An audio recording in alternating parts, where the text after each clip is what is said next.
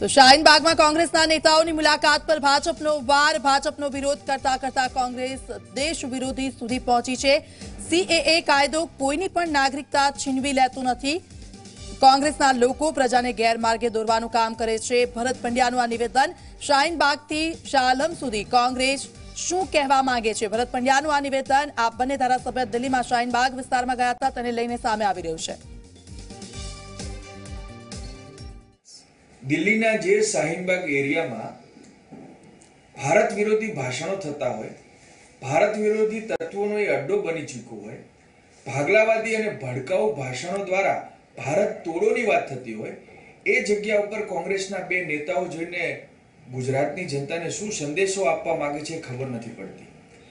પરંતુ થોડા સમય પહેલા આપણે જોયું હતું કે શાહઆલમમાં જે રીતે પોલીસ ઉપર બર્બરતાથી પથ્થરમારો કરવામાં આવ્યો હવે શાહ આલમથી આ શાહીનબાગ સુધી કોંગ્રેસના નેતાઓ શું સંદેશો આપવા માગે છે?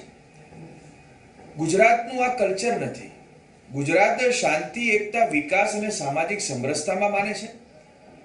પરંતુ આ કોંગ્રેસનું કલ્ચર કેવું છે કે જ્યાં જેએનયુ યુનિવર્સિટીમાં આતંકવાદી અશરફની વરસી વાળવા માટે કોંગ્રેસના નેતાઓ ત્યાં પહોંચે અને અત્યારે શાહીનબાગમાં જ્યાં ભારત વિરોધી અને ભારત તોડો એ સંદર્ભમાં ભાષણો થયા હોય, ત્યાં કોંગ્રેસના નેતાઓ પહોંચે.